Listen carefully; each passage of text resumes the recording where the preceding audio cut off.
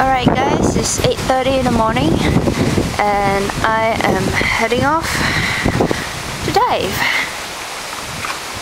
Right, today we have, or I have, two other English people joining me. Uh, they're suiting up. Uh, they just arrived last night. Um, so I won't be diving alone today. So yep, this is Lembeh. Lembeh, that's my lodge. That's the first window there. First window you see, yep, that's that's my place. Where I'm staying at tonight. Alright, signing out.